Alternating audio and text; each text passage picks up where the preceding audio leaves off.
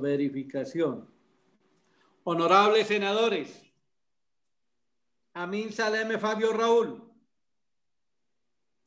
Andrade de Oso Esperanza. Senadora, ponga el micrófono para decir presente. Presente, señor secretario. Presente, la senadora Esperanza. Barrera Montealegre, Roy Leonardo. Presente, señor secretario. Presente. Benedetti Villaneda Armando. Cabal Molina María Fernanda. Presente. Presente. Enrique El Maya Eduardo. Presente. Presente. Gallo Cubillo Julián. Presente. Presente. García Gómez Juan Carlos. Presente, señor secretario. Presente. Guevara Villabón Carlos. Presente, señor secretario. Presente. Lara Restrepo Rodrigo. López Maya Alexander. Lozano Correa Angélica. Name Vázquez Iván. Presente, señor secretario. Presente. Ortega Narváez Temístocles. Pacheco Cuello Eduardo Emilio. Presente, señor secretario. Presente. Petro Urrego Gustavo Francisco. Elia. Presente, señor secretario. Presente, secretario. Excusas. Pinto del Miguel Ángel. Presente, señor secretario. Presente. Rodríguez Rengifo Roosevelt. Rodríguez Rengifo Roosevelt. Presente. Presente. Valencia González Santiago. Presente. Ya, ya, senador Roosevelt está asistiendo. Valencia González. Presente, secretario. Presente. Valencia La Serna Paloma. Paloma Valencia presente, Uribe Libre. Barón Cotrines Germán. Presente, señor secretario. Velasco Chávez Luis Fernando. Llamo nuevamente a los senadores que no me alcanzaron a escuchar. Amin Saleme Fabio Raúl. Benedetti Villaneda Armando. Senador Benedetti. Lara Restrepo Rodrigo. López Maya Alexander. Lozano Correa Angélica. Ortega Narváez Temístocles. Velasco Chávez Luis Fernando. Señor presidente, me permito informarle que ha registrado quórum decisorio. Bueno, muy bien. Eh, gracias, señor secretario. Continuamos con el con eh, la discusión del proyecto. Eh, le quiero hacer una pregunta al senador Roy Barreras en su condición Gracias. de ponente. Eh, senador Roy Barrera, una Gracias. pregunta, una pregunta sencilla para una respuesta sencilla. Por favor, no se vaya a molestar. Disculpe y le pregunto, pero tengo que hacerlo porque usted es el ponente. Y la pregunta es, ¿hubo acuerdo o no hubo acuerdo en, en la proposición que estamos en discusión? Gracias, presidente. ¿Me quiere usted informar cuántos tiempo tengo para responderle? Del que usted determine estará bien. No, yo solamente quiero saber si hubo acuerdo o no hubo acuerdo. Sí, pero usted me pide una respuesta de sí o no, o le puedo dar un informe de lo que hemos conversado. Bueno, haga su informe, senador Roy. Que gracias. designó la subcomisión que ha sido designada. Muchas gracias, señor presidente, y no se moleste usted tampoco, que se nos nota los dos. Lo primero, eh, no nos pusimos de acuerdo en cuanto al texto de la proposición. Hicimos una larga discusión. Pero entonces sí hay un punto de acuerdo que no tiene que ver con la proposición. Yo le ofrecí a la senadora María Fernanda Cabal y al senador Pacheco, después de explicar por qué esta proposición es inadecuada y a juicio de, lo explicará mejor el senador Petro, a juicio de él y el mío, es inconveniente y hace daño. Le ofrecí en cambio que como sí es cierto que hay un problema no resuelto, que es el de los segundos ocupantes, que en las cifras oficiales son 554 personas, de un universo de 7 millones y medio de víctimas, pero que podrían ser más porque hay su registro. Esas personas, ese millar de personas, digamos, si fueran el doble, requieren una solución jurídica.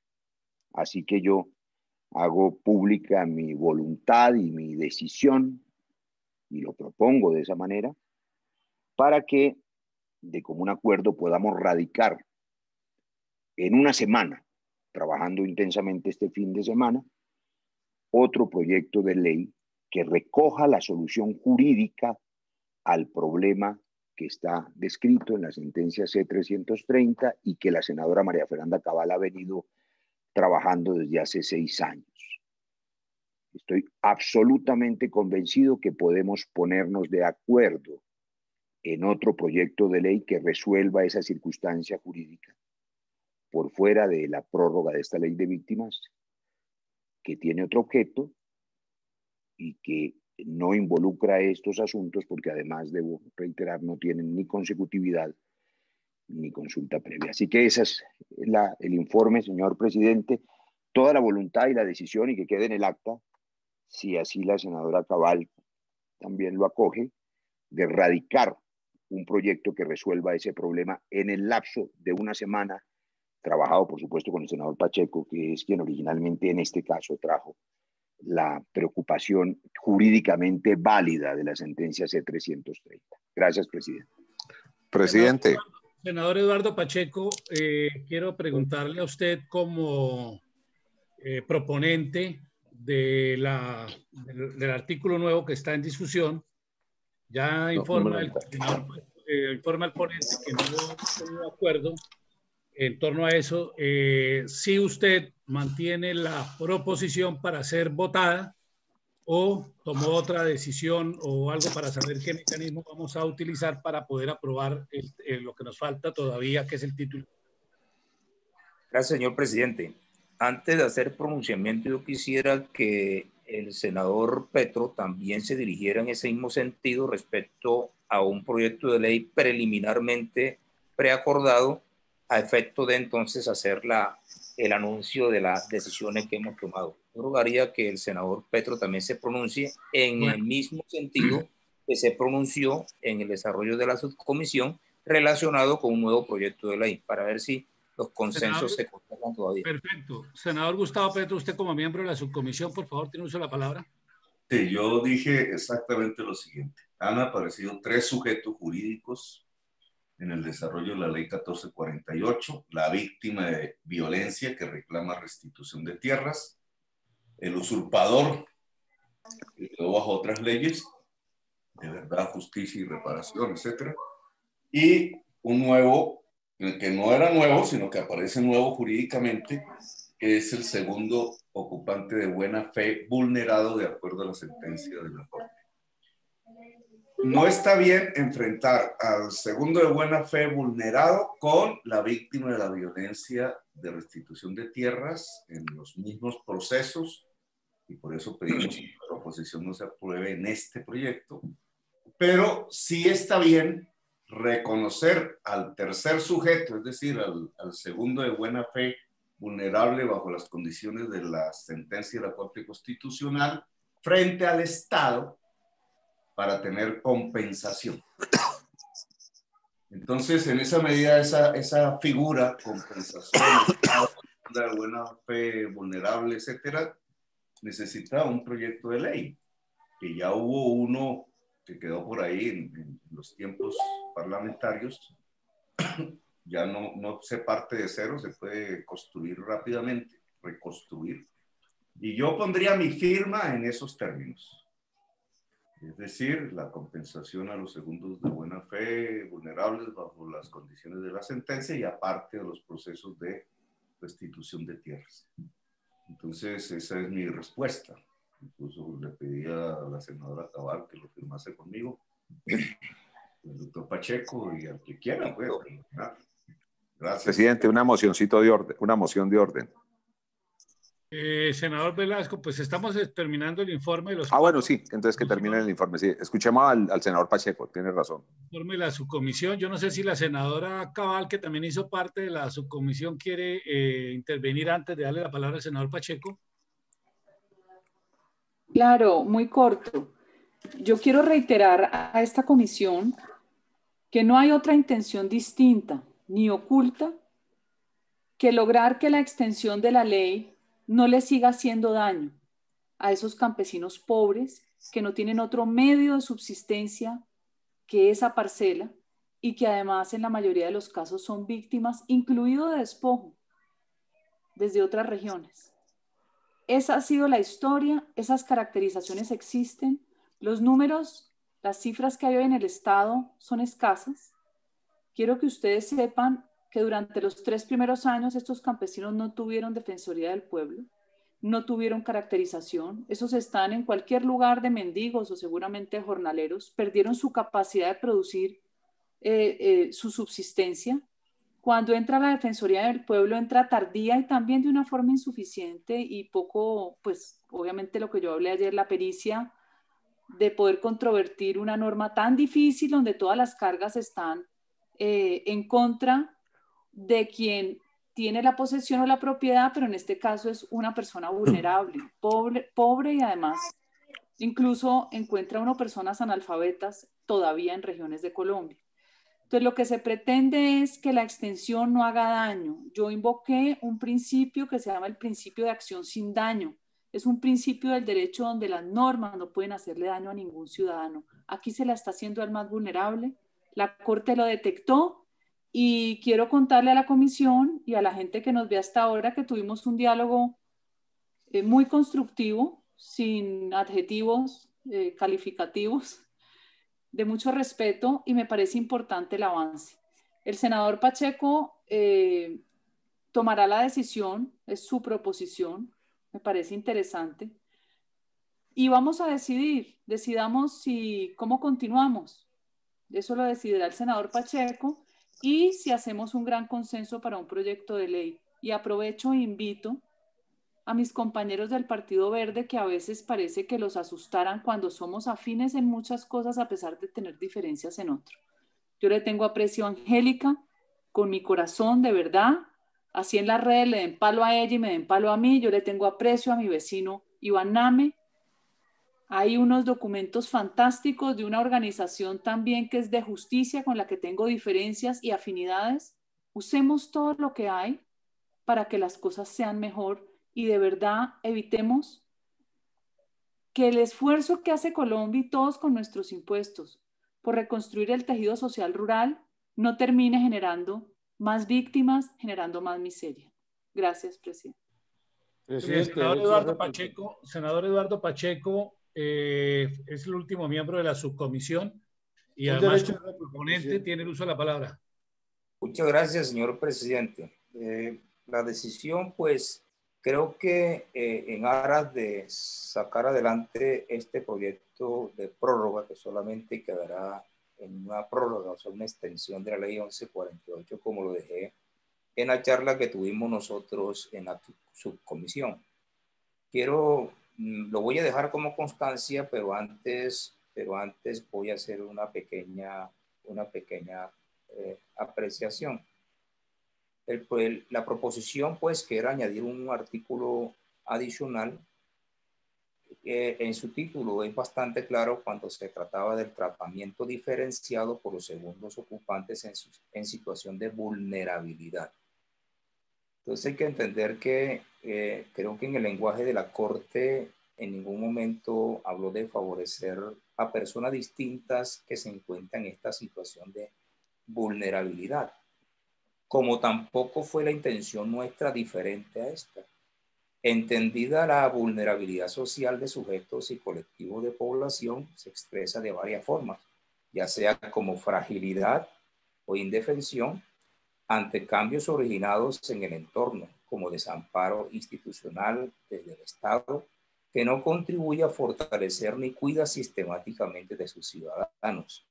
Mire que es un concepto bastante amplio y que nosotros conocemos. Desde esa perspectiva, el estado de vulnerabilidad está relacionado con circunstancias que le impiden al individuo. Puede ser como individuo puede ser como colectivo. Uno, procurarse su propia subsistencia. Dos, lograr niveles más altos de bienestar debido al riesgo al que está expuesto por situaciones que le ponen o que lo ponen en desventaja. creo que el, proyecto más bien estaba planteando a esa caracterización de personas.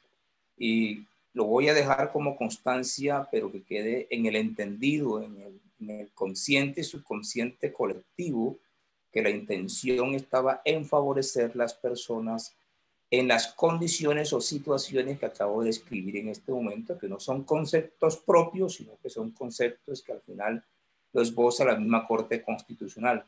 He dejado claro esa, esa constancia, al mismo tiempo entonces digo que voy a dejar la proposición como una constancia, señor presidente, y gracias por su amable atención.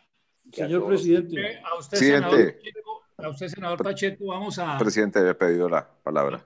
Un segundito. Yo pedí una réplica, presidente. Sí, ya un segundito, senador y senador Ibaname. Eh, voy a entonces a informarles eh, lo que, como va a proceder, vamos a proceder antes de dar la moción de orden y la réplica. Ya no existiendo el punto de discusión, pues queda cerrada la discusión, no hay más proposiciones, vamos a poner en consideración ahorita y votación eh, el retiro de las dos proposiciones que están radicadas en la Secretaría, inmediatamente votaremos el título y la pregunta, que es lo que nos resta. Antes de esa votación, para primero la réplica del senador Iván Name y enseguida la moción del senador Luis Fernando Velasco. Gracias, señor presidente. A mí me ha enseñado la vida y la práctica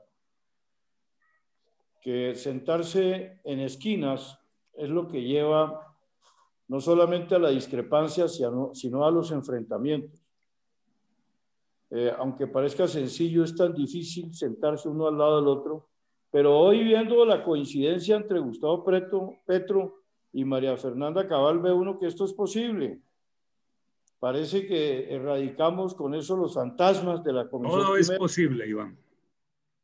Sí, señor doctor Roosevelt.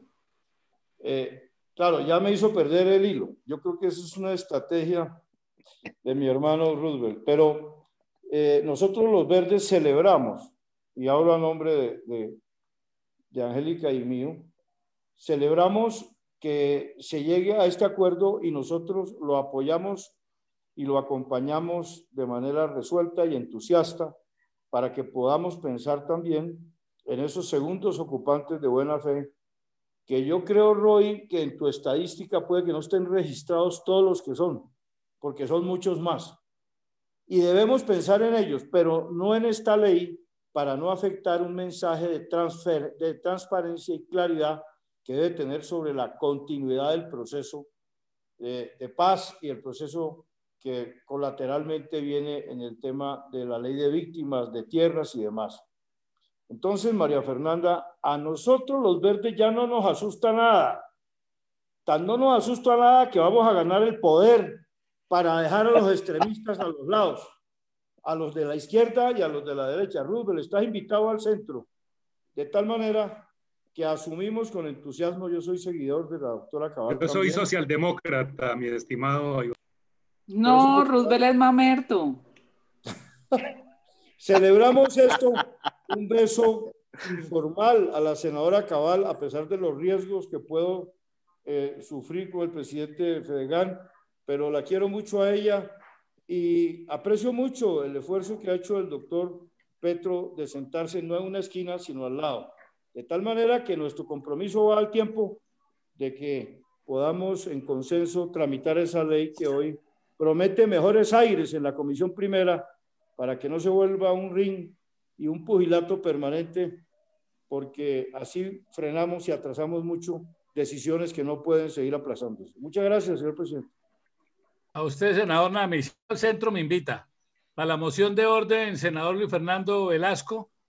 Y votamos. Sí, gracias, Miguel. Y empezamos a votar el retiro. Presidente. Eh, presidente, a, a, la entrada de la, del Museo del Hombre en Ciudad de México hay una, hay una frase grabada en piedra bellísima que dice, los antiguos eran sabios porque dialogaban. Yo quiero valorar, de verdad, valorar lo que han hecho eh, María Fernanda, Gustavo, doctor Pacheco y Roy. Hombre, mandémosle un mensaje político inclusive más poderoso. Si ustedes se ponen de acuerdo y nos traen un texto, yo aceptando lo que hace unos eh, par de horas dijo el doctor Pinto cuando me dijo jefe, pues yo casi que comprometería a la bancada liberal de la comisión primera a que nosotros acompañaríamos con la firma ese proyecto. Él me dice a mi jefe, pero le hace caso a Gaviria. Bueno, entonces eh, eh, eh, intentémoslo hacer todos, verdes, Partido Conservador, toda la U, Cambio Radical, o sea, mandemos un mensaje poderoso.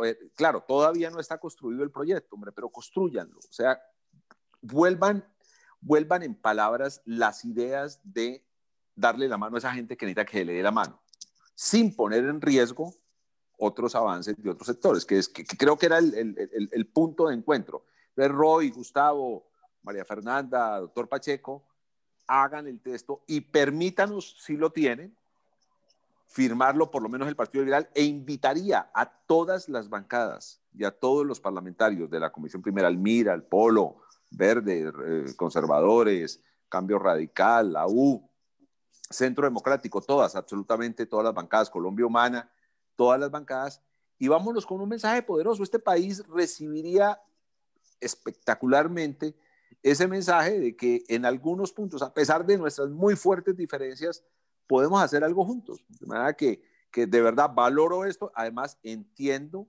entiendo eh, eh, la acción política de las cuatro personas que se han sentado y que corren riesgos políticos al, decir podemos hacer un acuerdo, pero, pero el país necesita escuchar eso. Mil gracias, presidente.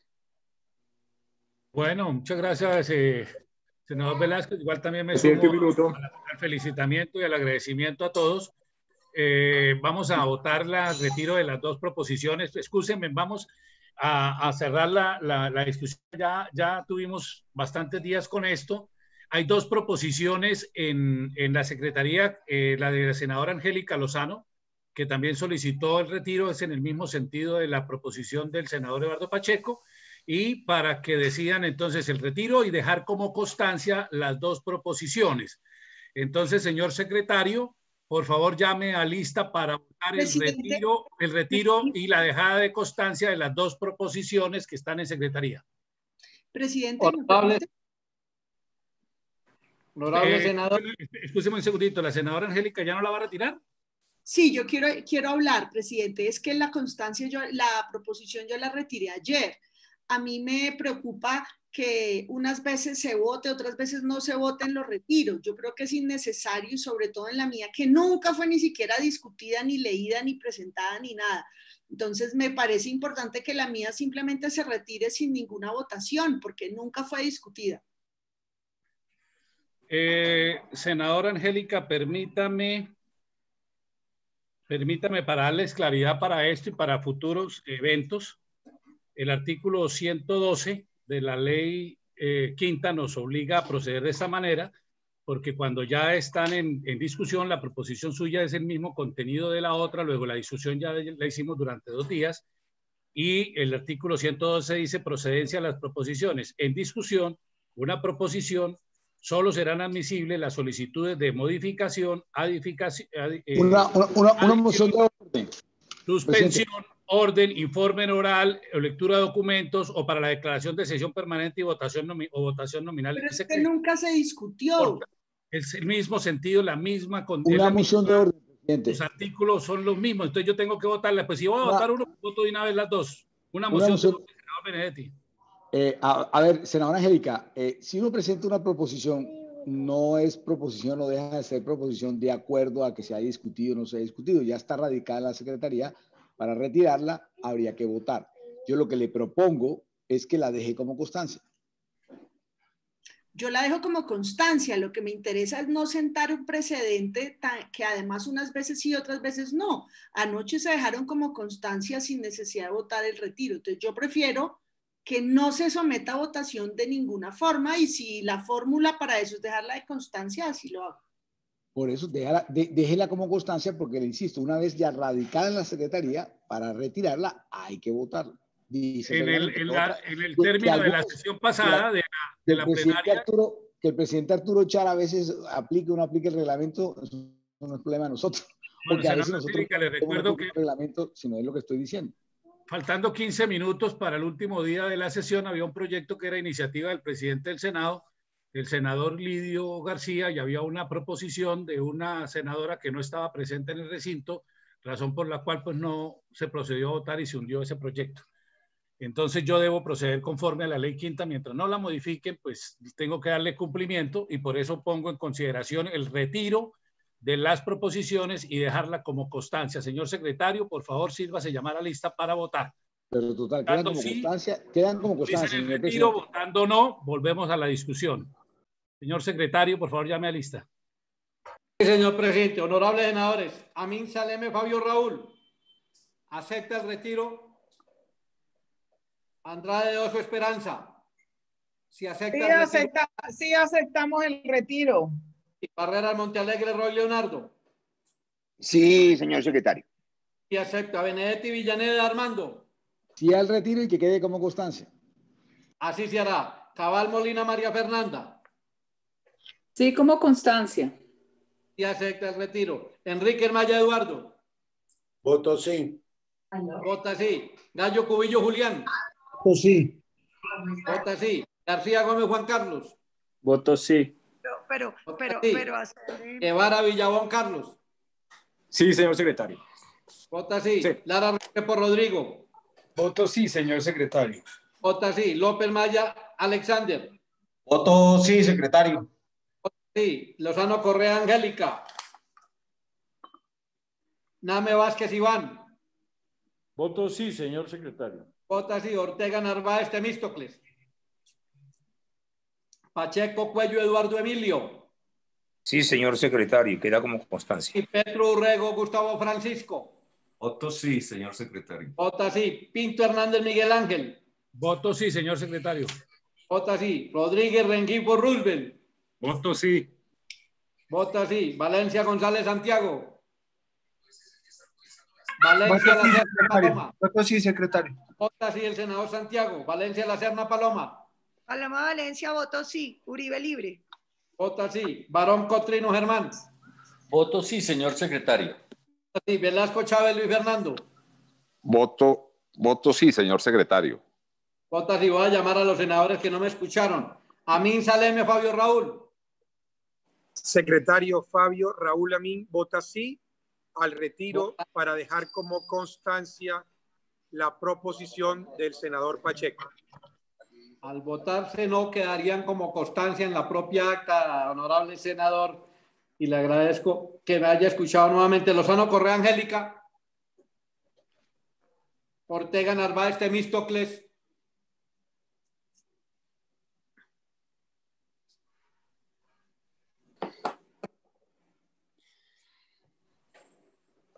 Señor presidente, si lo considera, puede cerrar la votación. Señor secretario, cierre el registro y anuncie el resultado. Ahora Angélica Lozano. Señor secretario, cierre el registro, anuncie el resultado. Señor presidente, el retiro ha sido aprobado con el siguiente resultado. Por el sí, 20, por el no, 0. Muy bien, señor secretario, título y pregunta. Título. Título y pregunta, señor secretario. Título, por medio de la cual se modifica la ley 1448 del 2011 y los decretos ley étnicos 4633 del 2011, 4634 del 2011 y 4635 del 2011, ampliados por 10 años en su vigencia. Está leído el título, señor presidente. Y la pregunta, si quieren los senadores presentes, que el presente proyecto de ley aprobado se convierta en ley de la República. En discusión el título y la pregunta. Está en discusión anuncio que va a cerrarse. Queda cerrado. Señor secretario, llame a lista para votar el título y la pregunta. Honorables senadores, Amin Saleme Fabio Raúl. Secretario, celebrando los acuerdos y la grandeza en las posiciones de mis compañeros de comisión, voto sí al título y a la pregunta para que se convierta en ley de la República. Contesta sí. Andrade Oso Esperanza. Esperanza Andrade vota sí, de acuerdo con el senador Amin. Vota sí. Barreras Montealegre Roy Leonardo. Voto sí, señor secretario, con gratitud a todas las compañeras y compañeros. Vota sí. Benedetti Villaneda Armando. Voto sí, señor secretario, pero pregunto dónde está el doctor a mí, porque parece como un ratón cuando va entrando una ratonera con, con una linterna. Ahora le mando el gato. Cabal Molina María Fernanda. Voto sí, secretario. Sí. Enrique El Maya Eduardo. Voto sí. Vota sí. Gallo Cubillo Julián. Voto sí. Vota sí. García Gómez Juan Carlos. Voto sí, señor secretario. Vota sí. Guevara Villabón Carlos. Voto sí, señor secretario. Voto sí. Lara Restrepo Rodrigo. Voto sí, felicitando a María Fernanda, a Gustavo, a Roy, a Pacheco, a todos que hicieron parte de esto. De verdad, felicitaciones. Qué raquera. Vota sí. López Maya Alexander. Voto sí, secretario. Vota sí. Lozano Correa Angélica. Sí. Vota sí. Name Vázquez Iván. Voto sí, señor secretario. Vota sí. Ortega Narváez Temístocles. Pacheco Cuello Eduardo Emilio. Voto sí, señor secretario. Disculpas. Voto Al sí. senador Ortega Narváez Temístocles. Vota sí. El senador Pacheco Cuello Eduardo Emilio. Vota sí. Petro Rego Gustavo Francisco. Voto sí, señor secretario. Vota sí. Pinto Hernández Miguel Ángel. Voto sí, señor secretario. Vota sí. Rodríguez Rengifo Rubel. Voto sí. Vota sí. Valencia González Santiago. Voto sí. Vota sí. Valencia La Serna Paloma. Barón Cotrino Germán. Blanco Chávez Luis Fernando. Llámalo. Voto sí, señor secretario. Voto sí. Escúcheme, señor Voto sí. secretario, es que no puedo. Serna Paloma. Barón Cotrino Paloma Germán. Valencia, voto sí. Paloma Valencia vota sí. Voto Barón- sí, señor secretario, pero Dígame, senador Germán. tengo problemas, se me está eh, interrumpiendo el- la, la señal, señor secretario. Voto sí si es el título y la pregunta, entiendo. Así es, su señoría. Estamos votando el título y la pregunta. Velasco ¿Cómo, perdón? Voto sí, señor secretario. Velasco vota sí, título y pregunta. Señor presidente, todos los senadores presentes en el recinto, que son los 22 miembros de la comisión primera, han votado. Señor secretario, por favor, cierre el registro, anuncie el resultado. Señor presidente, el título de la pregunta ha sido aprobado con el siguiente resultado. Por el sí, 22, por el no, 0. Ha sido entonces aprobado el título y la pregunta. Bueno, muy bien. Quiero eh, saludar y agradecer la presencia del doctor Ramón Alberto Rodríguez, que nos ha acompañado durante todas las sesiones de discusión de este debate y del foro. Mil gracias a todos los senadores intervinientes, al coordinador ponente, a los miembros de la subcomisión y a todos los miembros de la comisión. También los felicito. Fue un amplio debate eh, en la aprobación de esta norma. Señor secretario, siguiente punto del orden del día.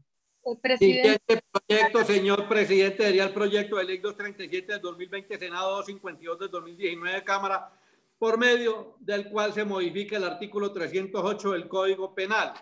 El ponente, honorable senador Juan Carlos García Gómez, quien se encuentra presente, concluye con la siguiente proposición.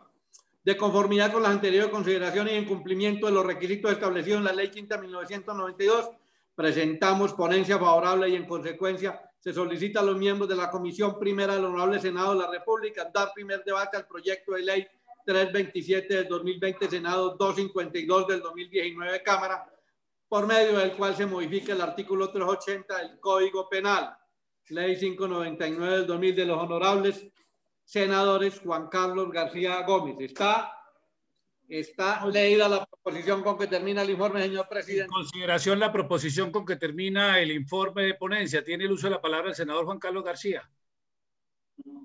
Muchas gracias, señor presidente.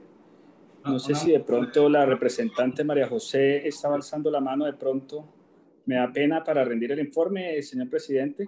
Está invitada en la comisión, que la veo alzando la mano antes de... escúcheme, entonces, escúcheme un segundo antes de darle el uso. También vi al senador Germán Barón que me está pidiendo la mano.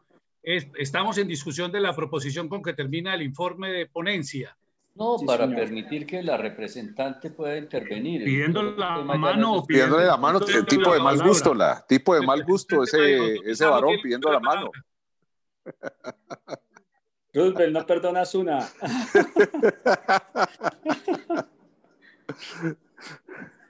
Está atento, Ahora active el micrófono. Perfecto, no, muchísimas gracias. No, antes de retirarme, yo quería agradecerle muchísimo eh, al coordinador por ente, eh, también agradecerle mucho a las personas que hicieron parte de la subcomisión eh, por haber dejado como constancia esta proposición y haberle dado vía libre en la comisión primera, lo cual es un nuevo mensaje. En la comisión primera de Senado, de Cámara, perdón, pasó por unánimemente, también fue así en la plenaria de la Cámara de Representantes, sucede lo mismo en la comisión primera de Senado, entonces creemos y esperamos que tenga eh, rápido trámite en la plenaria del Senado para que sea una ley de la República. Estamos hablando, según el informe que presentó en, eh, no, eh, hace, recientemente, perdón, el director de la, de la unidad de víctimas y, la unidad de víctimas, perdón, él presentaba un informe en el que nos hablaba del número total, el universo de más de 9 millones de víctimas que están esperando con impaciencia este proyecto de ley, que tienen todas las esperanzas puestas en poder materializar ese derecho a la reparación integral del cual son titulares, al, al restablecimiento de sus derechos. Entonces, este es un logro realmente eh, importante y hoy les damos la mejor noticia, sobre todo en los momentos tan difíciles que ellos están viviendo. Yo creo que ese es el mejor mensaje político eh, y agradecemos de verdad eh, la discusión del, del, proyecto de ley, pero también obviamente que se haya dejado como constancia esta proposición y que pueda, ojalá, ver la luz muy prontamente. Muchas gracias a todos y, a todas y bueno. Eh, como digo, esperamos que tenga el mismo destino en la plenaria de la Cámara. Esta es la mejor noticia en el día de hoy que le podemos dar a ese más de 9 millones de personas y más de 772 eh, sujetos de reparación colectiva en nuestro país. Gracias. Muchas gracias a usted, representante María José Pizarro. El doctor Ramón, eh, Ramón Alberto Rodríguez tiene el uso de la palabra también para agradecer y poder continuar con el trámite de nuestros proyectos. Gracias, señor presidente. Un saludo muy especial a todos los senadores. Yo creo que ese es un logro de todos los colombianos, un logro de todos los colombianos porque el trabajo para las víctimas, eh, siempre he mencionado que más allá de la institucionalidad, es el trabajo de todos los colombianos para resarcir ese daño que se le ocasionó durante tantos, pero tantos años a esos casi nueve millones de colombianos que hoy tenemos en el registro decirles que cuentan con todo el apoyo desde la Unidad para las Víctimas para presentar esas nuevas iniciativas. Sabemos que lo importante en estos momentos para darle la tranquilidad a las víctimas era hacer la prórroga por estos 10 años más, buscar los recursos y estamos prestos para seguir acompañando todas las iniciativas del legislativo frente a esos ajustes que tanto se mencionaron hoy, que tienen que ver con tierras, que tienen que ver con recursos, que tienen que ver con la articulación del sistema de verdad, justicia, reparación y garantías de no repetición y que nos parece que están muy de la mano con todas las propuestas que aparecieron en cada uno de los debates. Estaremos muy prestos para acompañarlos y de verdad muchas gracias en nombre de todas las víctimas que hoy atendemos a través de la unidad y que buscamos que muy pronto podamos hacer todo el proceso de reparación, como dice la ley, de una forma integral. De verdad, muchas gracias a la Comisión Primera, y esperamos para seguir apoyando en la plenaria, estaremos acompañando todo el proceso. Muchísimas gracias, presidente. Muchísimas gracias a usted, doctor Ramón Alberto Rodríguez, director de la Unidad de Víctimas, por habernos acompañado durante todas las sesiones en la discusión de este proyecto. Ahora sí continúa con el uso de la palabra para el proyecto que para, para la proposición con que termina el informe de ponencia el senador Juan Carlos García. Mientras tanto, yo me tomo la, la moringa para evitar el, el, COVID. Muchísimas gracias, señor presidente, honorables senadores. Me permito de esta manera eh, dar inicio a la presentación de informe de ponencia del proyecto de ley número 327 de 2020, Senado, 252 cámaras, que ya hizo curso en sus primeros dos debates legislativos en la Cámara de Representantes empezando en el mes de septiembre del año pasado, proyecto radicado eh, por la ministra de Justicia, Margarita Cabello, en su entonces, y por el ministro eh, del Deporte, el doctor eh, Ernesto Lucena. Proyecto que ha contado con audiencias públicas, con participación de sectores y que tiende a modificar un artículo de nuestro Código Penal, como es el artículo 380 del Código Penal, el cual regula el suministro o la formulación ilegal a deportistas, lo que llamamos el doping en el país, de esas sustancias, eh, eh, sustancias y métodos que se suministran ilícitamente a los deportistas. Hemos eh, tenido la oportunidad de hacerle un seguimiento a este proyecto que es adecuar, modernizar, ir a la vanguardia de lo que hoy en la política del deporte a nivel mundial se ha venido legislando y se ha venido trayendo una eh, normatividad internacional para tratar de salvaguardar la ética del deporte, lo que ya conocemos igualmente como el fair play, en la igualdad de, los tiempos históricos de la humanidad, en donde el deporte ha sido una gran competencia entre los humanos. Y lo que queremos de esa forma eh, en este proyecto de ley es, primero que todo, ese artículo 380 eh, generaba unas dificultades en su aplicación.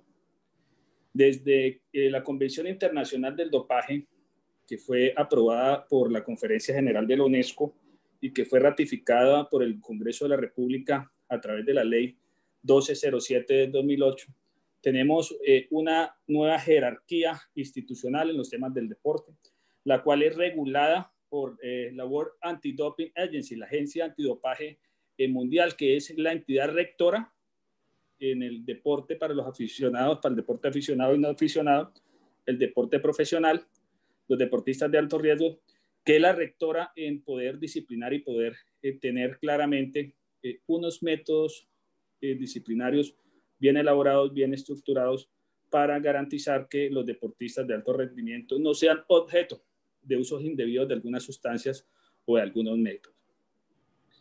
En nuestra eh, legislación actual, en nuestro código eh, penal, hoy se encuentra inmerso en ese artículo 380 un, eh, un ingrediente normativo que genera inocuamente la aplicación, que en última lo que quiere dar es un golpe contundente a lo que ya ustedes han visto en diferentes contiendas deportivas, no solamente en nuestro país y a nivel mundial.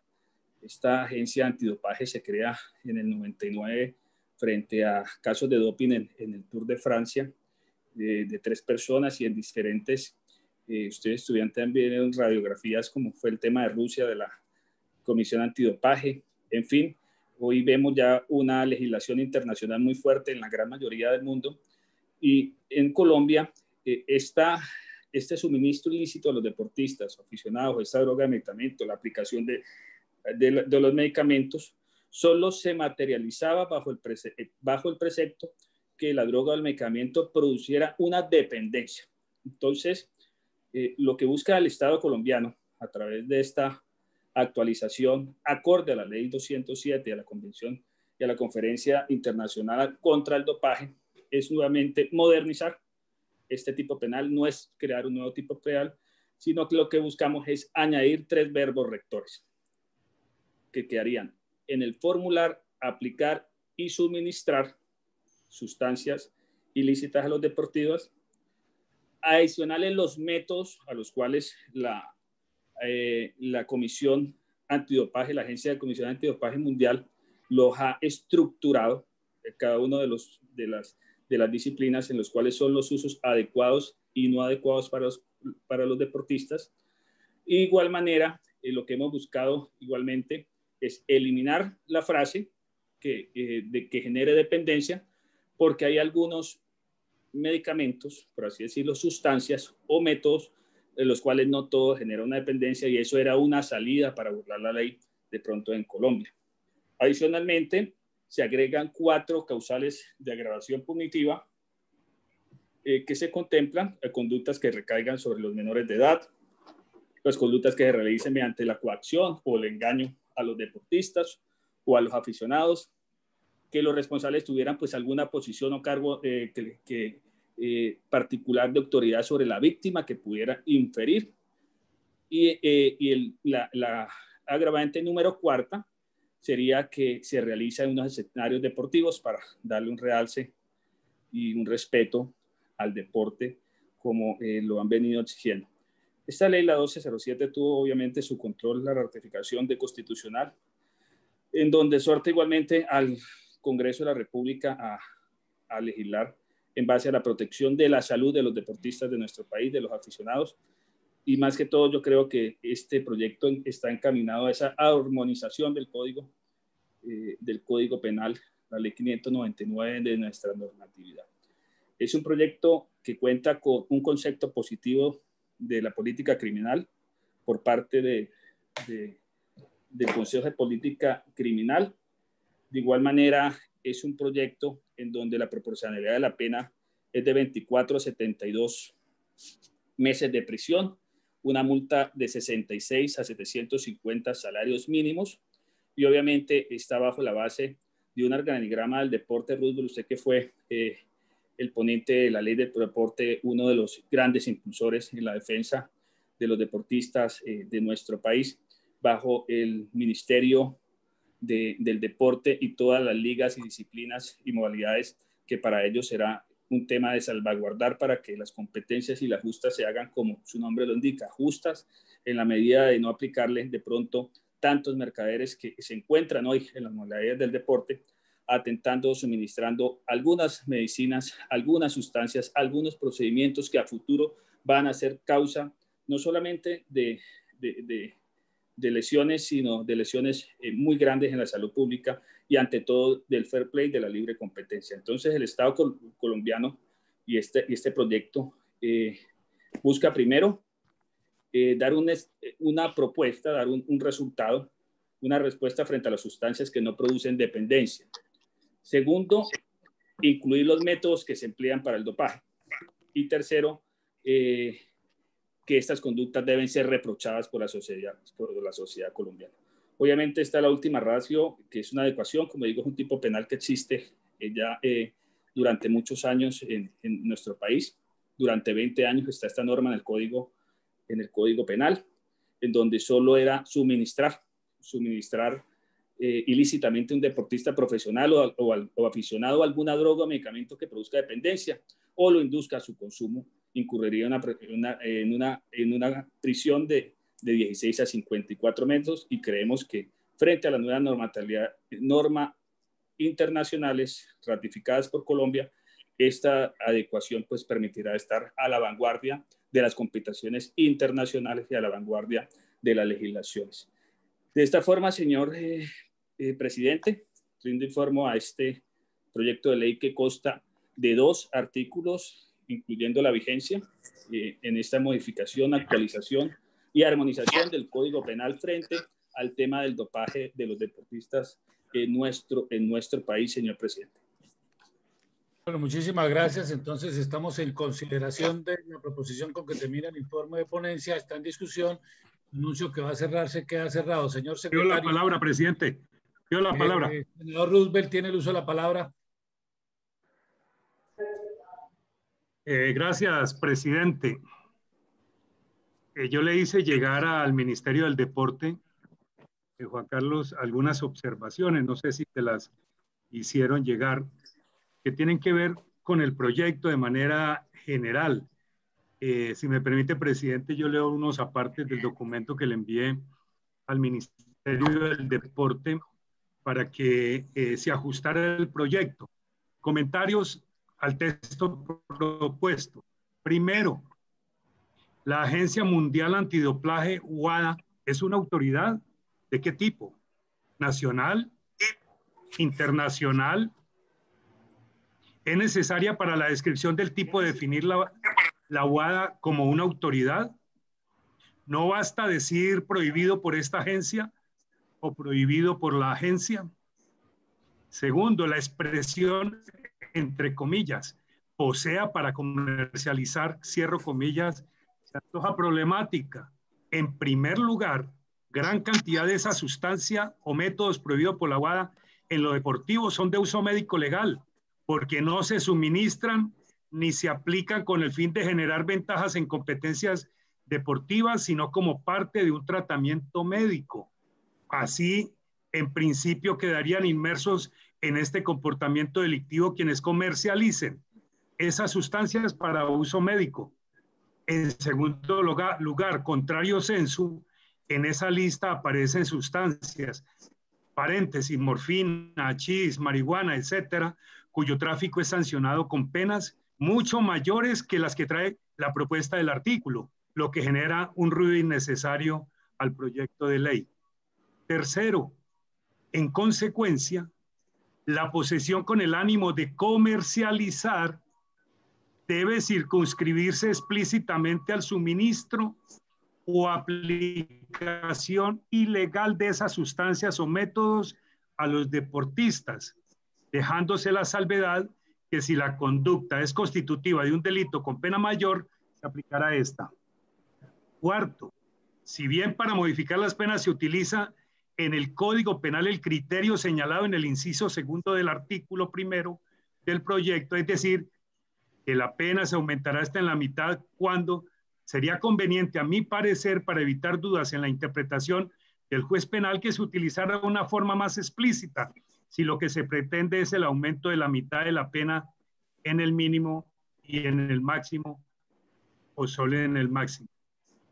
Si la pena se aumenta en una proporción determinada, esta se aplicará al mínimo y al máximo de la infracción básica, ha dicho la ley 599 del año 2000. Si la pena se aumenta hasta en una proporción, esta se aplicará al máximo de la infracción básica. Termino allí, presidente. Eh, voy a enviarle al señor eh, ponente eh, estas observaciones que le hice al texto que está en discusión y, por supuesto, esperando que él tome nota para que avancemos de mejor manera con este proyecto de ley. Muchas gracias, presidente. Muy bien, senador Roosevelt, si quiere, mientras usted se lo manda al ponente y, pueda ya dar la explicación en el articulado, mientras tanto podemos ir votando la proposición con que termina el informe de ponencia, ¿le parece? Sí, me parece, presidente. Sí, presidente, adicionalmente eh, quería manifestarle a Roosevelt que obviamente ahí lo importante es construir, construir este, este proyecto desde la comisión, tratar de de fortalecerlo. Igual yo había invitado, le había pedido el favor al jurídico, ahí está la viceministra del deporte, la doctora Lina María Barrera, también presente, Roosevelt, y está el doctor, eh, el jurídico Eduardo de la Osa, que ha estructurado de pronto esos temas puntuales en el acervo probatorio eh, que usted ha manifestado. ¿Están acá en el recinto? Sí, que nos pueda dar una, una, de pronto, fortalecerle las dos preguntas directas que hizo eh, a bien el doctor Roosevelt Rodríguez referente a la información del Ministerio del Deporte, si ustedes lo creen conveniente, y obviamente para recoger cualquier proposición que podamos enriquecer. Hasta el momento no habían eh, radicadas en la, en la comisión, pero, pero lo importante es eh, que tengamos claridad frente a esta actualización normativa. Muy bien, mientras ingresan, mientras ingresan los funcionarios, señor secretario, vamos a llamar a lista para votar la proposición con que termina el informe de ponencia. Listo, presidente. Honorables senadores, proposición con que termina el informe. Amin Saleme Fabio Raúl. Andrade de Oso Esperanza.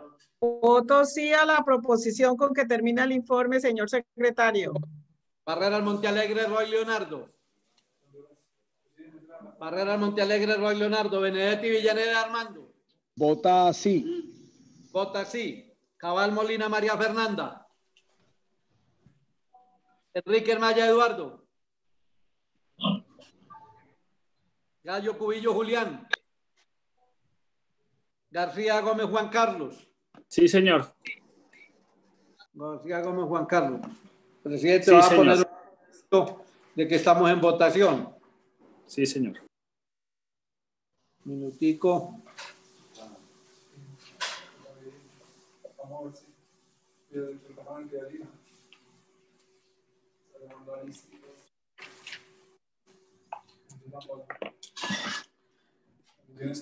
Guevara Villabón Carlos. Sí, señor secretario, voto sí. Vota sí. Lara Restrepo Rodrigo. López Maya Alexander. Voto sí, secretario.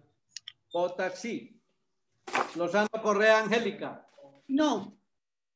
Vota no. Name Vázquez Iván. Voto sí, señor secretario. Vota sí. Ortega Narváez Temístocles. Voto sí, señor secretario. Vota sí. Pacheco Cuello Eduardo Emilio. Voto sí, señor secretario. Vota sí. Petro Urrego Gustavo Francisco. Voto sí. Vota sí. Pinto Hernández Miguel Ángel. Voto sí, señor secretario. Vota sí. Rodríguez Rengifo Roosevelt. Voto sí. Vota sí. Valencia González Santiago. Voto sí. Vota sí. Valencia La Serna Paloma. Varón Cotrino Germán. Voto sí, señor secretario. Vota sí. Velasco Chávez Luis Fernando. Vuelvo a llamar a los senadores que no me escucharon. Amin Saleme Fabio Raúl. Alegre Roy Leonardo. Cabal Molina María Fernanda. Voto sí. Vota sí la senadora María Cabal. Necesito un cargador. Eduardo. No, está bien, Cubito Julián. Norte Mira, Restrepo Rodrigo. Voto sí, señor secretario. Vota sí. Lozano Correa Angélica, vota no, perdón. Valencia La Serna Paloma. Velasco Chávez Luis Fernando. Señor secretario, cierre el registro, anuncie el resultado. Señor presidente, la proposición con que termina el informe ha sido aprobado con el siguiente resultado por el sí 15, por el no 1. Puede abrir la discusión del articulado, señor presidente. Muy bien. eh, eh, antes de, darle, de abrir la, la- la discusión del articulado, el ponente nos ha informado que son dos artículos, incluido la vigencia. Eh, señor secretario, ¿cuántas proposiciones hay para, para el articulado? Yo tengo preguntas. Señor presidente, estoy mirando el correo a ver si han llegado proposiciones. Bueno, perfecto. Entonces, mientras, mientras la revisa eh, y para poderle dar el uso a la señora viceministra, eh, aprovechemos, le damos la palabra primero a la senadora Angélica Lozano para que haga la pregunta y de una vez puedan responder las dos inquietudes, las del senador Roosevelt y la que va a ser la senadora Angélica Lozano. Gracias. Gracias, presidente. Eh, Por favor, ciérreme los micrófonos, señor secretario, para alcanzar a ver que hay varios abiertos. Senadora Angélica. Gracias, presidente. Yo, yo quisiera, Juan Carlos, si nos puedes explicar o a mí la necesidad de modificar el tipo penal que está en el código. Hoy trae la conducta de una persona que no es médica o u odontólogo, una persona que no es profesional de la salud, puede incurrir en un delito si le aplica medicamentos a deportistas. Eh, quiero comprender la necesidad, necesidad de modificar ese tipo penal. Veo que es para adecuarlo a regulación internacional antidopaje, pero en la fiscalía y en el sistema colombiano hay solo 16 casos eh, con indicios de este posible delito del artículo 380 y solo tres casos eh, están en etapa de indagación. Eh, entonces yo quiero comprender la necesidad de modificar el tipo penal, porque como bien lo ha dicho la Corte Constitucional, pues el derecho penal eh, implica la mínima intervención del Estado cuando sea necesaria esa sanción al, al criminal y pues debe considerarse otras alternativas cuando, cuando hayan fallado. Entonces, quisiera entender cuál ha sido la evaluación de la gravedad de esa conducta o de las circunstancias sociales, culturales, para que se tipifique eh, como el dopaje como un delito. ¿Por qué no se contemplan otras medidas? No sé si disciplinarias o multas o hasta la restricción para la, ejercer eh, la profesión, dado que esto está enfocado a los servidores de la salud. No sé si hay alguna evaluación sobre la eficacia de las medidas que existen. Y repito, encontramos en el sistema que solo hay eh, tres casos eh, procesados en, en, nuestro país. Entonces, amerita realmente la privación de la libertad como, como está previsto. Hoy, hoy el delito existe y da entre 16 y 54 meses y aquí se está aumentando a 24 como piso hasta 72 meses de prisión.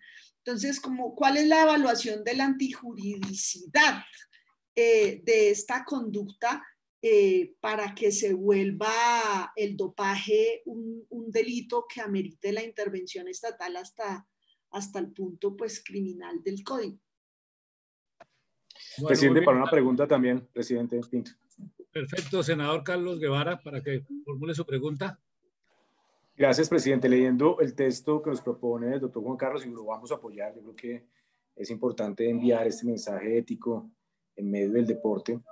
Pero me surge una pregunta, no sé si es que está mal redactado la, la, la proposición con la cual termina el informe, porque pareciera ser que el principio de legalidad, aplicando el principio de legalidad, eh, no sé si se puedan permitir este agravante también a los médicos. Ahí hay, ahí hay una duda que me gustaría que el ponente me lo, me lo explicara muy bien, porque mucho de, de, lo que hay en el deporte, tanto aficionado como uno, digamos, como profesional, es eh, en la práctica también de lo que los médicos recomiendan frente a una lesión, frente a los temas de alto rendimiento, frente a una competencia específica.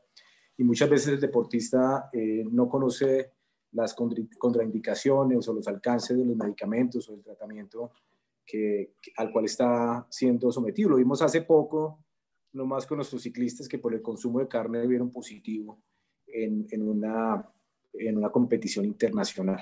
Entonces, presidente, quería precisar, si, si, si el presidente y, y, obviamente el ponente me lo permiten, cuál va a ser el grado de responsabilidad en el caso de los médicos y del personal asistencial en los, en los deportes de alto rendimiento y también eh, en los deportes aficionados, cuál va a ser la responsabilidad penal en el caso de que le suministre al deportista una sustancia no legal. Gracias, presidente. O un medicamento no legal.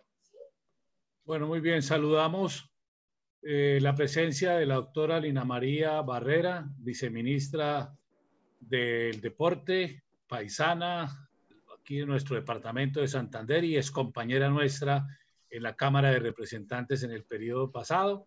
De igual manera, la presencia del doctor Eduardo de la OSA, también del Ministerio. Eh, voy a darle luz a la palabra. Voy a darle luz a la palabra, si me permite, senador Juan Carlos. Ahora responde lo que quede pendiente. Eh, o adelante, como quieran. Bueno, A la senadora Lina María Barrera para que eh, responda pues a las inquietudes que el senador Juan Carlos había dicho y de paso pues bienvenida a la Comisión Primera del Senado, doctora Lina, me alegra mucho saludarla. Gracias por el título de senadora, querido presidente. Saludar de manera especial a todos los senadores de la Comisión Primera. Eh, agradecerles pues esta oportunidad de estar debatiendo este gran proyecto de ley que va a repercutir mucho en la vida de nuestros deportistas. Eh, pero yo quiero cederle la palabra a nuestro abogado penalista de la Oficina de Dopaje del Ministerio, al doctor Eduardo de la Osa, para que por favor le pueda contestar puntualmente tanto al senador Roosevelt como a la senadora eh, Angélica sobre eh, las inquietudes que ellos tienen frente a esta reforma al Código Penal. Como lo ha dicho nuestro querido senador Juan Carlos García, esta eh, eh, es, es una iniciativa que se presentó junto con el Ministerio de Justicia porque realmente hoy en día solo se está castigando al deportista, pero no se está castigando las personas que rodean a ese deportista y que de pronto incidieron para que él consumiera eh, eh, eh, esas sustancias. Entonces, eso básicamente es lo que también se está reformando ahí en ese artículo del Código Penal. Yo quiero cederle la palabra con todo respeto, querido presidente y honorables senadores, al doctor Eduardo de la Osa, que él es el especialista para que les pueda responder técnicamente frente a esas inquietudes. Gracias. Señora viceministra, yo quiero preguntar, ¿el doctor Eduardo de la Osa es funcionario del ministerio o no? Sí, sí, señor, es el, el jurídico de, de, la oficina de antidopaje que tenemos en el ministerio. Ah, bueno, pero entonces, eh, pregunto, señor secretario, no tenemos que declarar acción informal para escucharlo, ¿no? No, señor presidente, la ley tercera habla que se puede escuchar en sesión formal a los funcionarios públicos del Ejecutivo. Y otra pregunta, señor secretario, ¿no hay necesidad todavía de declarar la sesión permanente? Todavía no estamos en la última media hora. Yo estoy pendiente. Doctor Eduardo de la Osa tiene el uso de la palabra. Presidente. Gracias, presidente. Como dice nuestra viceministra, lo primero. doctor Eduardo de la Osa, eh, por si de pronto para que pueda responder eh, alguna pregunta del senador Alexander López. Yo tengo, yo tengo dos proposiciones allí, presidente, pero tengo a las 2 y 30 una, una reunión con mi partido, entonces, eh, pues no sé, las voy a dejar allí, de todas maneras quedan como constancia y si se aprueba hoy, pues en Senado las, las revisamos, por favor. Le agradezco mucho, presidente, y le pido permiso para retirarme en este momento. Perfecto, senador Alexander, vaya para que tenga en cuenta el senador eh, Juan Carlos García como ponente. Doctor Eduardo de la Osa, tiene la palabra. Señor presidente, una excusa, que por favor las proposiciones la envíen al correo comisión.primera arroba senado.go.co, que es nuestro correo institucional, porque tenemos correos y es difícil encontrarlos todos, pero ese es el institucional. Le agradezco la atención. Ya mismo, secretario, ya mismo, gracias. Bueno, muy bien. Doctor Eduardo de la OSA, por favor.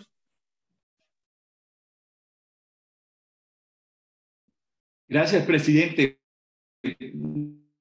Nuevamente, muchas gracias por la participación que nos dan el ministerio y como decía la señora viceministra, es un proyecto en el cual eh, todo el Sistema Nacional de Deporte está muy comprometido. ¿Cuál es el origen de todo esto? hay una convención que Colombia firmó, que es la, a, través de la ley 1207 de 2008 fue ratificada, en la cual nos comprometimos en la lucha antidopaje.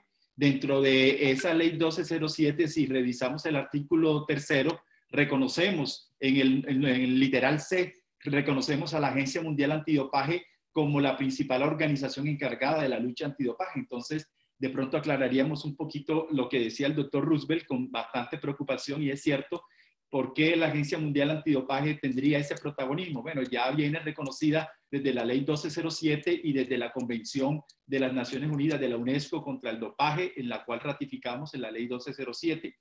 La doctora Angélica también nos preguntaba sobre la necesidad de la reforma de ese artículo. Entonces, es una situación que de pronto todos los colombianos nos preguntamos, yo que soy penalista, cada vez que hay una reforma penal, nos preguntamos, ¿qué necesidad hay de tantos tipos penales?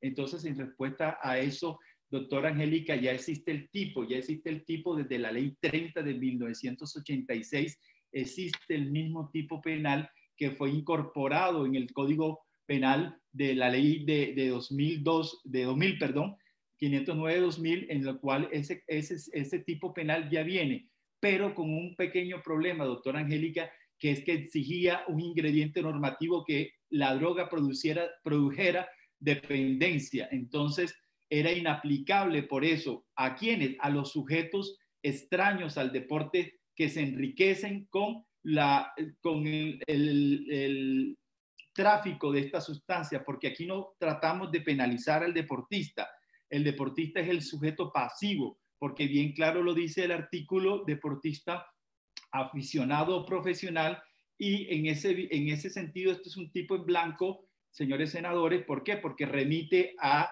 la ley nacional del deporte, a nuestra ley que dice y define cuáles son los eh, deportistas aficionados y cuáles son los deportistas profesionales.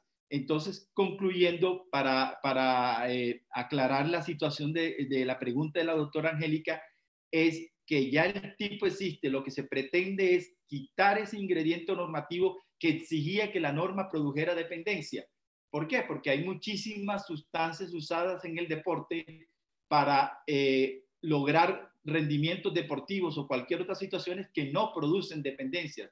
Entonces, al momento de tipificar la conducta, un fiscal o un juez va a encontrar que va a ser imposible eh, tipificar una conducta por una hormona, por cualquier, porque la hormona no produce dependencia, pero sin embargo está afectando la salud de nuestros deportistas y está enriqueciendo una mafia de traficantes que están eh, usando todos los canales deportivos para hacer estas cuestiones, para, para poder traficar con el, con el asunto. El doctor Roosevelt tenía una inquietud y él que conoce bastante el tema como ponente que fue de nuestra ley de creación del Ministerio del Deporte sobre la posesión con fines de comercializar.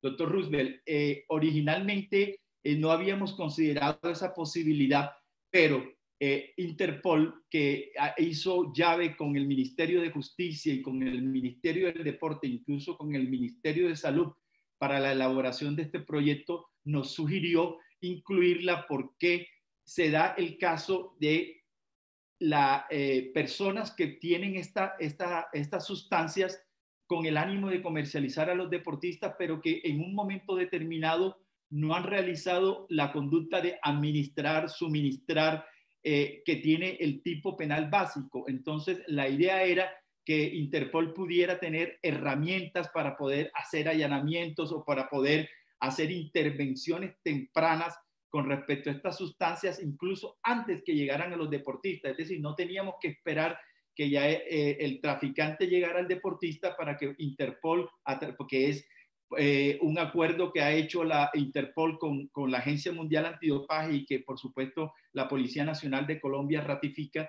en el sentido de que ellos son los encargados de todo este tema de antidopaje. Si ustedes han visto en las noticias, aparece todas las eh, incautaciones que ha hecho Interpol Colombia con respecto a suplementos, con respecto a una cantidad de, de sustancias, medicamentos que realmente están haciendo los deportistas, pero que en un momento determinado solamente se están tramitando como falsificación de, de, de, medicamentos o adulteración de documentos, que es un tipo penal que ya aparece en el código, pero que realmente eh, no, necesariamente tenía que haber adulteración, pero sí productos originales que pudieran hacer daño al deportista. Esa era la idea, doctor Roosevelt, de, esa situación. Bueno, muy bien. Senador Juan Carlos García. Pido la palabra, señor presidente. Presidente. Eh, Espéreme, senador. Armandito, para que antes de eso, el senador Armando Benedetti. Eh, eh, gracias, eh, Juan Carlos, gracias, señor presidente. Mire, el volumen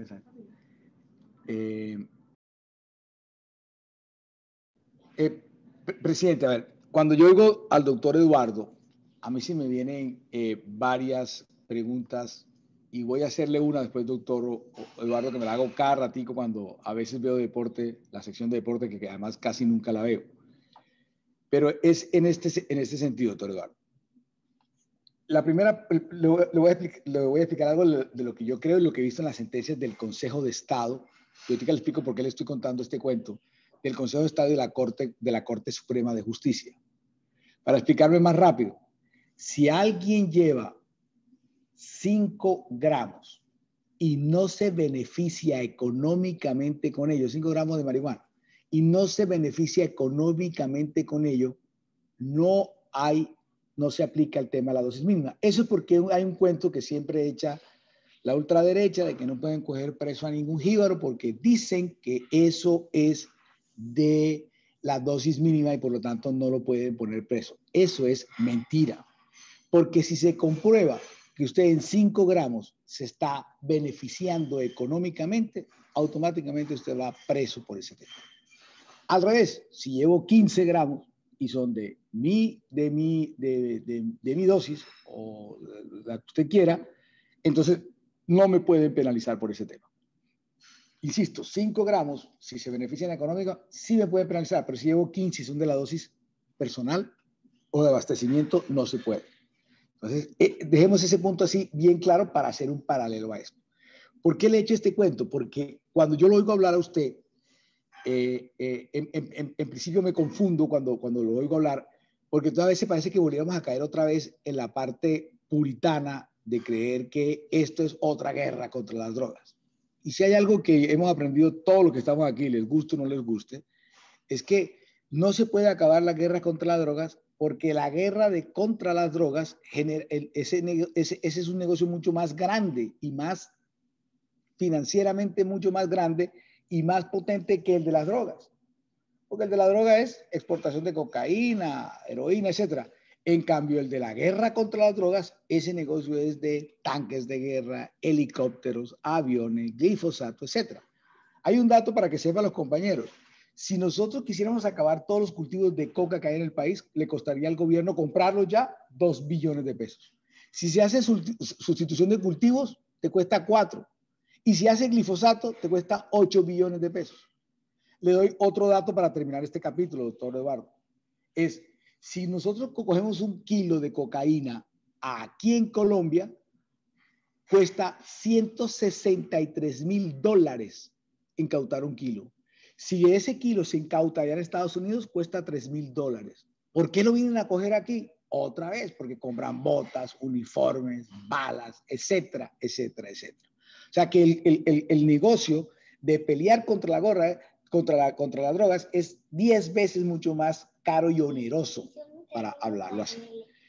Dicho esto, cuando yo lo escucho usted hablar, entonces otra vez parecería que estamos en este tipo de esta guerra de, de, de drogas o de, eh, yo no sé, que sí, drogas, que, que, que termina afectando al deportista. Entonces, parecería que estuviéramos haciendo otra vez la misma matriz. Y la matriz que le acabo de comentar, a pesar de que nosotros somos los que más exportamos, no sabemos por qué, ni, y somos los que más cultivamos, tampoco sabemos por qué, a pesar de que somos todo eso, tenemos una matriz que es la del imperio de Estados Unidos y la otra vez de la ONU, etcétera, etcétera, etcétera, etcétera, de lo que se debe hacer con la guerra contra la droga.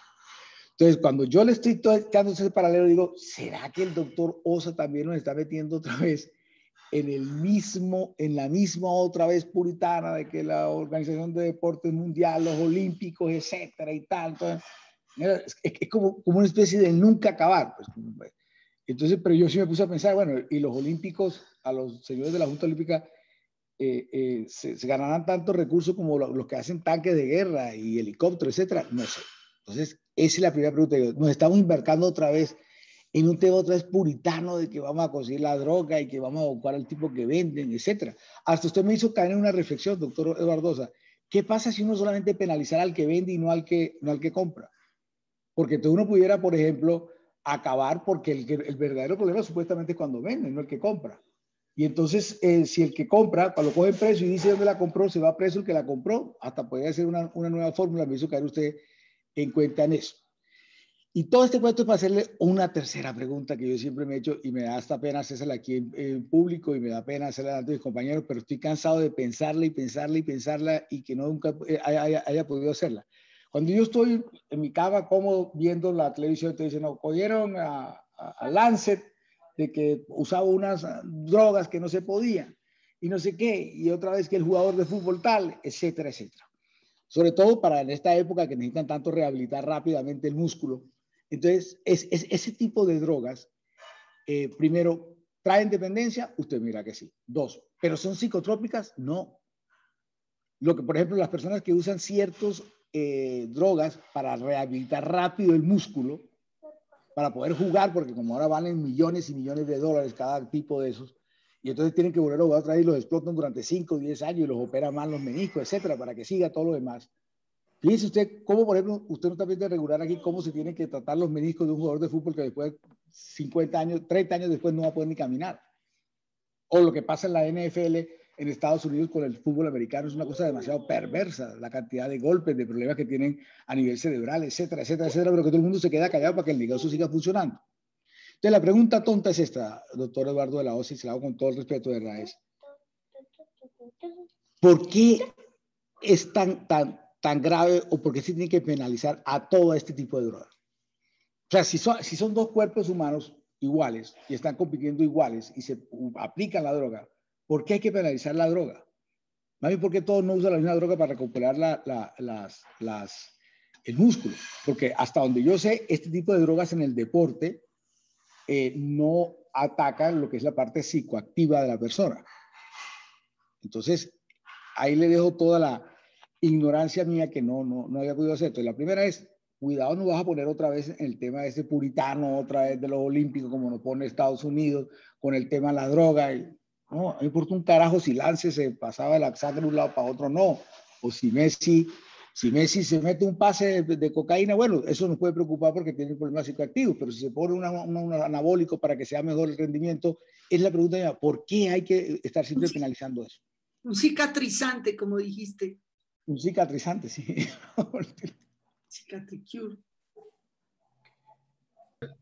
Eh, antes de, de continuar, le quiero preguntar a la comisión si quiere declararse en sesión permanente. Si algún senador no está de acuerdo con la sesión permanente, por favor, se pronuncia. De resto, entenderemos que todos están de acuerdo, los 20 senadores presentes en el recinto. Señor presidente, el senador se ha pronunciado en contra. En consecuencia, la comisión se ha declarado en sesión permanente. Bueno, muy presidente, bien. Antes de darle- presidente. Eh, escúcheme, sí, antes de darle el uso de la palabra al senador Juan Carlos García, para que vaya mirando las proposiciones, eh, bueno, cuando las dejó de constancia el senador Alexander, para ver si tienen cabida, lo mismo que lo del senador Roosevelt, para efectos que una vez terminen las intervenciones, a ver cómo queda así el, el articulado, a ver si lo alcanzamos a votar ahora. Pero, presidente- en la próxima sesión. Senador Guevara y luego senador Roy.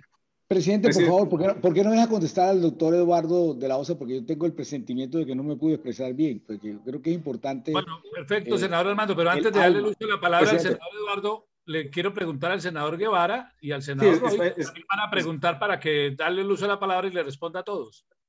Sí, presidente, en el mismo sentido es para que el doctor Osa precise mi pregunta, porque no me queda claro si los deportistas, por ejemplo, que no son deportistas de alto rendimiento, deportistas de élite, el deporte aficionado, Entran en también van a ser sujetos de esta norma, porque es muy delicado, un partido, cama, digamos, eh, de, de- de barrio y terminen siendo también aquí, en cierto modo, sancionados. Y la responsabilidad, eh, lo mencionaba el, el senador Benedetti, la responsabilidad directa o indirecta de un cuerpo médico que suministra un medicamento, una sustancia, un tratamiento para rehabilitar a una persona y, y que en cierto modo no se tiene la certeza científica si genera dependencia o no, pero lo tienen que hacer porque el deportista tiene que entrar rápidamente a, digamos, a estar de nuevo activo. Entonces me gustaría que me precisaran esas dos preguntas, presidente, para, para, para el doctor Osa, por favor, imponente. Gracias. Y si se agravaría la conducta, si este- estos hechos agravarían la conducta del personal médico y el personal asistencial,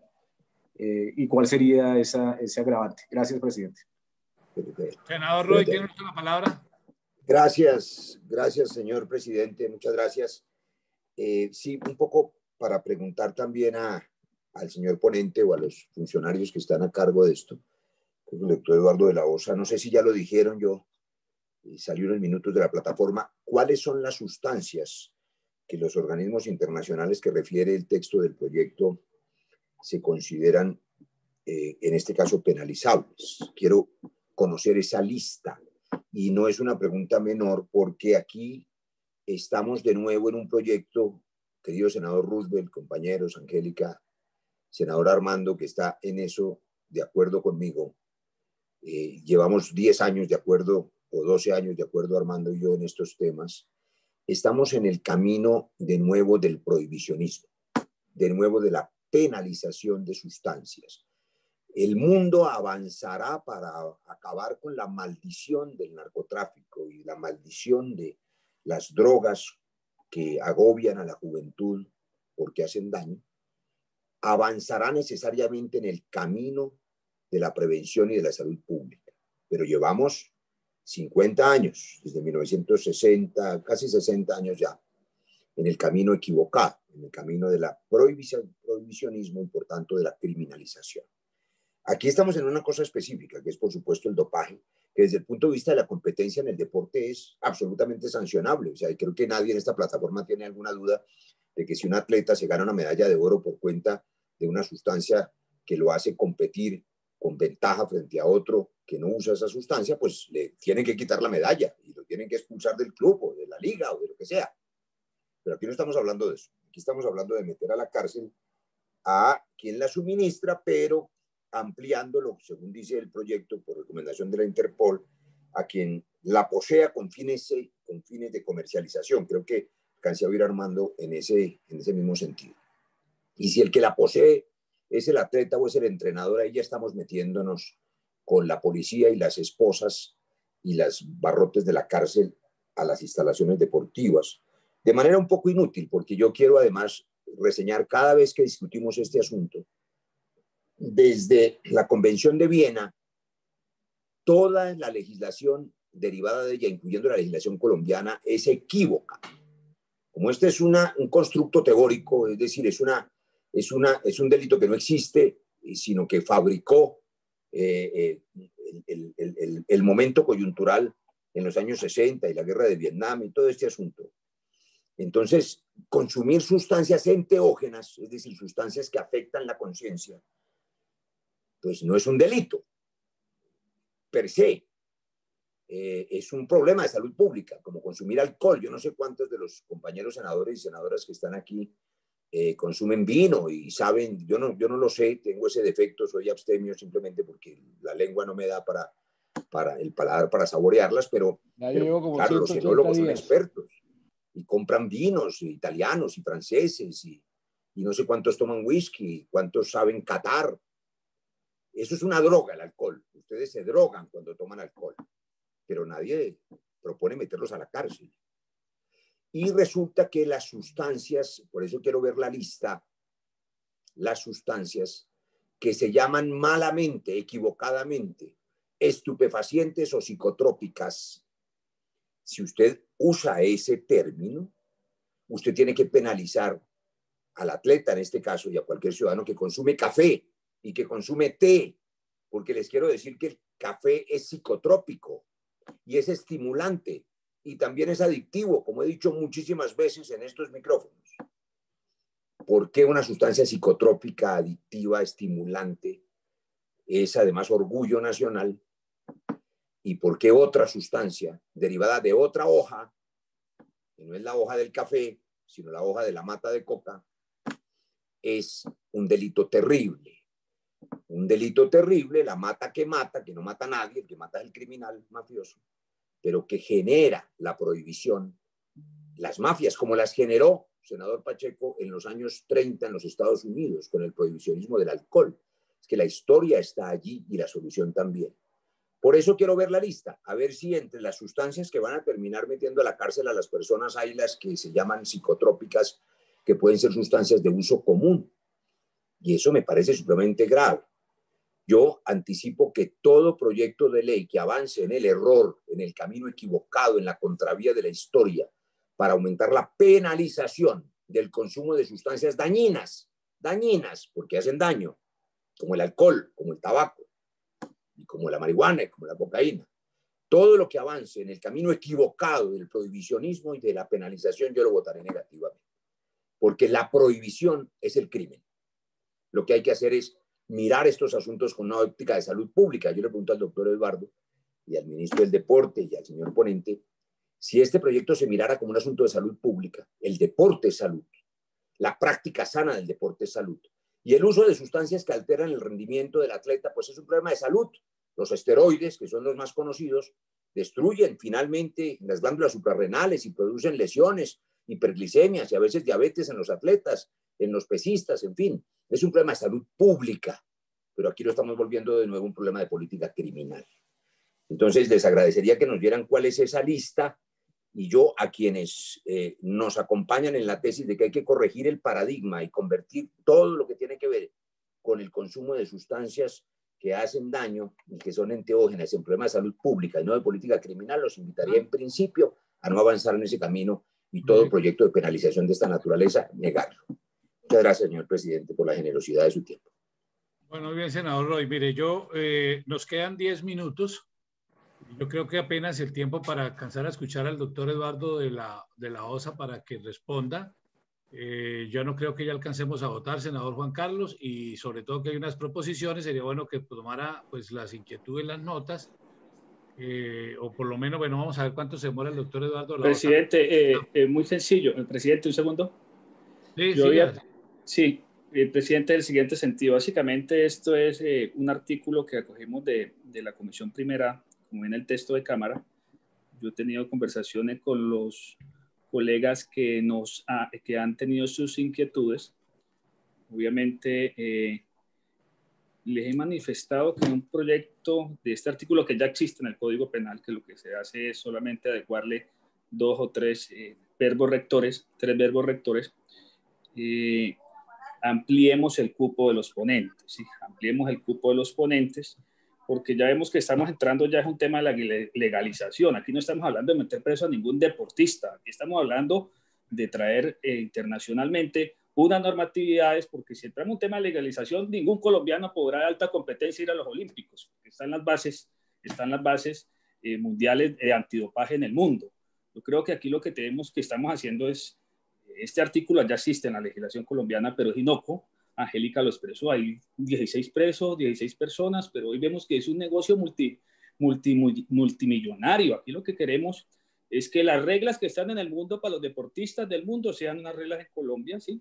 Que las tratemos de adecuar, que tratemos de mirarla. Y por eso yo creo que el acuerdo que podemos hacer, si Roy quiere ser ponente, Angélica, eh, con Roosevelt, hagámoslo con tranquilidad, revisémoslo, lo mismo me dijo Alexander, las dos proposiciones de Alexander básicamente son de redacción, ¿sí? son de redacción de, de este, de este artículo que está. Señor presidente, era eso para darle paso al doctor de la OSA, lo que ustedes crean conveniente, lo avanzamos en este articulito. Bueno, muy bien. Muchas gracias, senador Juan Carlos, por esa disposición. Vamos a, pues, a revisarlo. Eh, nos quedan ocho minutos. Yo no sé, el, el, doctor Eduardo de la OSA, cuánto tiempo más o menos requiere para contestar o para saber si dejamos la respuesta para todos los senadores en la próxima, en la próxima sesión. No sé, doctor Eduardo de la OSA.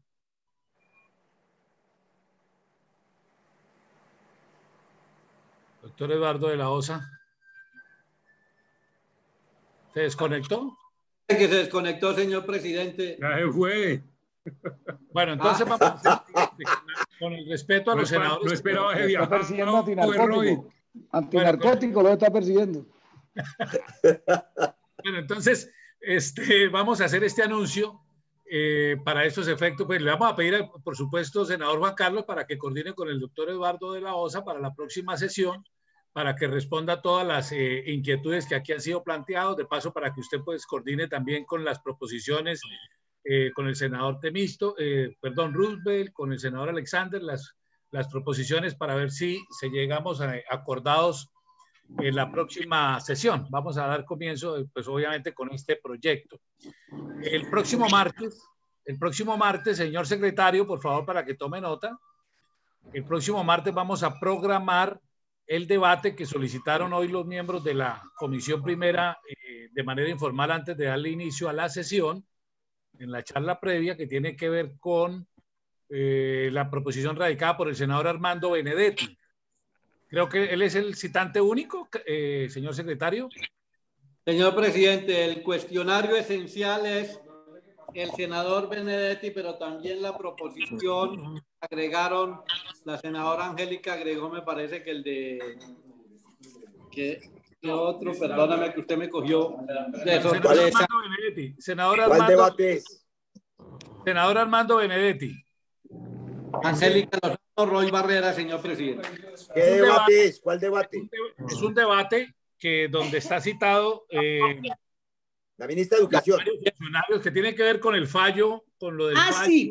de, de, y aquella Penagos del Consejo Electoral. Exactamente, de Gustavo Petro, que fue lo que se habló esta mañana. Entonces, los invitados, entre otros, entre los que yo me acuerdo, está el procurador, está el presidente del Consejo de Estado, el presidente del Consejo Nacional Electoral. Contralor. Eh, Contralor, eh, no sé quién más, señor secretario. Eh, Francisco Barbosa, Camilo, Camilo Gómez de la Agencia Nacional de Defensa, señor presidente. Bueno, esos son, los citados, esos, son los, esos son los citados al debate, que ya se había aprobado por la comisión, que lo había pedido el senador Armando Benedetti. Entonces queda para el próximo martes a las 10 de la mañana. Y dependiendo del tiempo que duremos en ese debate, pues continuaremos con, con los proyectos y si no, los proyectos irán para el día miércoles para continuar. Presidente, presidente, presidente. presidente una preguntita. El Señor, procurador está, gracias, presidente. ¿El procurador está invitado al debate? ¿El procurador al, al evento? Sí, claro, está invitado el procurador general, pues básicamente él es el... Vale, vale, muchas gracias, no lo escuché. Gracias, presidente. No, no hay la Cancillería. Senadora María Fernanda. Presidente, bueno, senador Armando Benedetti. Eh, presidente, sí, no, pendiente la respuesta del doctor Eduardo, pero con base a lo que usted acaba de decir del, del debate, eh, la Cancillería creo que no, no, no, no podría ir, pero, pero no creo que importe mucho, ¿verdad? Pues, si no, esta mañana estaban diciendo que la Cancillería... Yo creo que sobra, ¿no?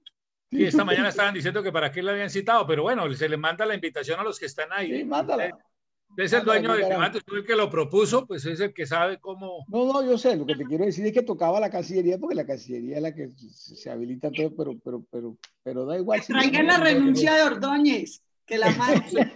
Entonces, el debate del senador Armando Benedetti, para que sepa, queda programado para el martes 10 de la mañana. Señor secretario, por favor, mande las citaciones eh, a los funcionarios. Señor marque- presidente, Senadora María Fernanda. Presidente, es que estamos eh, eh, presentando en este momento el, el senador Pacheco una proposición para dársela a Guillermo y que usted la pueda leer. Eh, senador, eh, señor secretario, lea la proposición. Se la está pasando en este instante, creo que estaba enviándosela. Señor presidente, no ha llegado, viene en camino. Pues senadora María Fernanda, si quiere, lea la proposición al senador Pacheco, a ver si la alcanzamos a votar. Tenemos, nos quedan dos minutos. O si no, la Bueno, si quiere, va a Ya la, leo, firmar. ya la leo, ya la leo, señor presidente. Ya la voy a leer.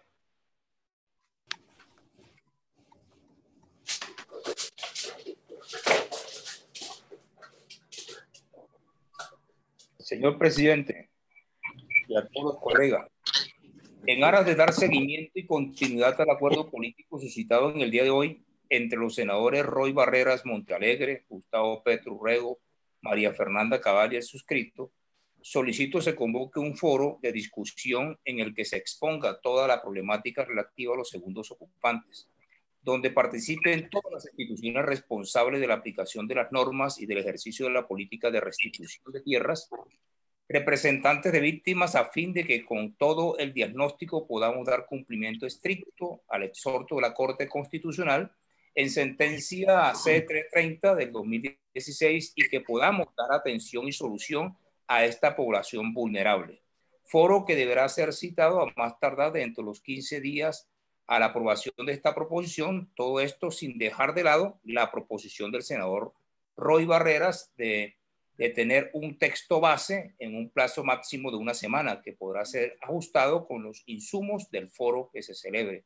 Y así podemos nutrir la experiencia sin ninguna diferencia política ni ideológica y atender una necesidad humanitaria que nos demanda la sociedad colombiana y en particular los campesinos vulnerables destinatarios de la acción de la ley 1448 de 2011. Para que lo ponga a consideración, señor presidente, ya lo voy a enviar y muchas Bueno, gracias. muy bien. En consideración la proposición que ha sido presentada por el senador Eduardo Pacheco para realizar un foro. Está en discusión. Anuncio que va a cerrarse, queda cerrado. ¿Lo aprueba la Comisión Primera del Senado? Y Senador, algún- Roy, senador Roy, ah, está diciendo que sí. Listo. Señor presidente, de los 18 senadores presentes en el recinto, ninguno se ha pronunciado en contra. Puede cerrar la votación para dar bien el resultado. Eh, Perfecto, entonces, ya usted ya anunció que ha sido aprobada la proposición, ¿no? Sí, señor presidente, aprobada con la presencia de 18 senadores en el recinto virtual. Bueno, muy bien. Eh, muchas gracias a todos. Eh, vamos a ver, para fijar fecha entonces para la siguiente, para la semana entrante será para hacerlo por ahí tipo jueves del foro, eh, para que ustedes manden el listado de los invitados a Consecretaría. Ya coordinamos eso de acuerdo al, al listado que envíen. Señor secretario, por favor, ya anunciamos proyectos, levante la sesión, se convoca para el próximo martes a las 10 de la mañana para el debate que ya se anunció. Mil gracias a todos, buena tarde. Muchas gracias. para todos. Gracias. Gracias, buena tarde a todos. Gracias. Muchas gracias. Martes 10 de la mañana, debate sobre la jurisprudencia. Gracias, presidente.